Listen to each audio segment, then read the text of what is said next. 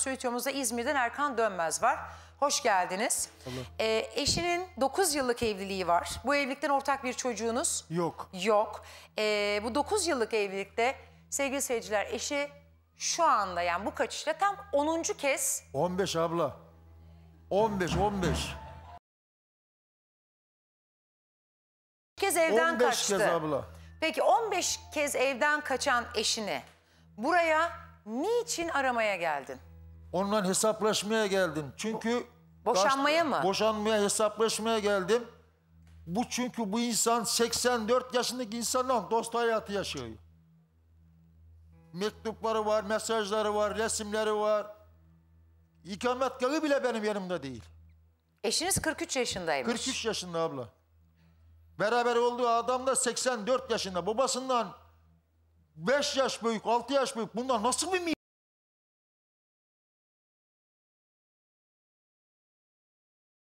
affettiniz? Abla, Yani o zaman değil mi yani şimdi hani mideden abla bahsettiğinizde... de ki bana annemgilden geliyorum, babamgilden geliyorum. Babamgile gittim, sığınma evine gittim, sığınma evinden geliyor.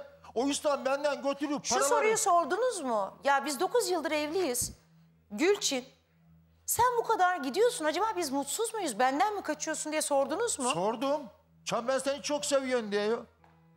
Daha bir hafta önce TikTok'ta bana dedi ki geliyorum döneceğim edeceğim diyor. Benim devamlı oyalıyor. O İslam değil dost hayatı yaşıyormuş. Peki şunu öğrenmek istiyorum sizden. 15 kez evden kaçtı ya sığınma evine gitti e, ya da aileme gittim dedi. Aynen beni öyle kandırdı. Ne kadar süre kayboluyordu? Günlük mü, saatlik mi, aylık mı?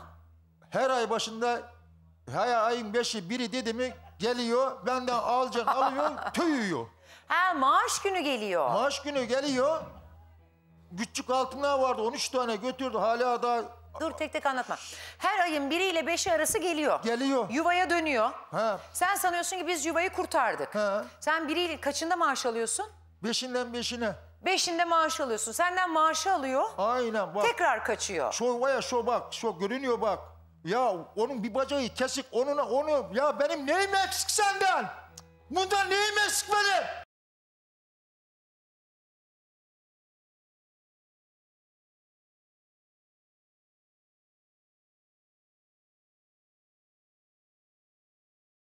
Ayağımı ısıtırdın lan. Sırtımdan vurdun beni.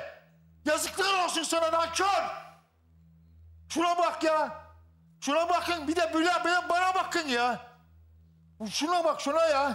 Gelse affeder misiniz? Ne affedeceğim ya Allah affetsin onu. Bir de TikTok'a koymuş. Ben emeline nasıl geleceğim bu geleceğim yanına ya Rabbi diye. Ulan sende Ne ne, yazmış? kalmış be? Ne yazmış? TikTok'ta video paylaşmış abla. Bu emellerine nasıl geleceksin ya Rabbi yanına diye. Ulan sen cennetine diyor. Sen cehennemliksin lan. Şimdi Erkan Bey bu son kaçışında eee, kime gidiyor? İbrahim Çeviker isimli Abla kişinin şimdi yanına mı gidiyor? olduğu belli değil. İkisinin bunun yanına gittim. İki kişiye kaçmış olabilir. İki kişiye kaç- Şimdi Biri şahıs İbrahim, yok. Üçüncü bir de nerede? o yaşlı kişi var. Onun ismi ne? Hasan, Yalen. Hasan diye birinin yanına. Peki sen bu isimleri nereden öğrendin? Abla ben eee, bu adam bana Hasan Yalan bana mesaj attı. Aşkım neredesin diye. La bu kim dedim ya. Bunun kullandığı telefon bende şimdi şu anda numara. Evet. Giderken benim numarayı, kimliğimi, kredi kartlarımı, hesap kartlarımı götürmüş. Benim yani benden ilişkili kessin beni arayıp bulamasın diye. Tamam. Çav- yani hatta numaraları var ya annesinin babasının filan. Bulamazsın beni yani izin kaybeden diyerek götürmüş. Bende de bir telefon vardı küçük. Ona taktım bir hat vardı bende. O hattı kullanıyormuş yani yedek hat kullanıyormuş evde. O hata telefona taktım. Tak tak tak tak mesaj geliyor. Bu kim dedim ya kendi kendime. O aşkım ne yapıyorsun diye diyorsun. Ulan dedim sen kimsin? Ben dedi "A- aşkın Hasan tanımadın mı? Tanımadın mı Gülçin diyor. He dedi hemen beni kafa şarj etti. Ben de başladım ondan aşkım maşkım mesajlaşmaya. Hı hı. Ay Sen aşkım unutmuşum ismini falan dedin Ha, herhalde. Dedim ki ya dedim e, senden ayrıla dedim sen nasıl bir durumdasın dedim ya. Hasta mısın sağır sen bir bana fotoğrafını bir atar mısın dedim ya.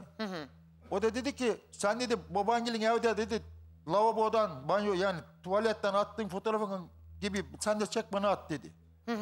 İyi atın dedim. Bir attı adam. Adam gözlüklü 84 yaşında ya Dayağına giden adam ya. Adam ne diyor biliyor musun? 15 10 sefer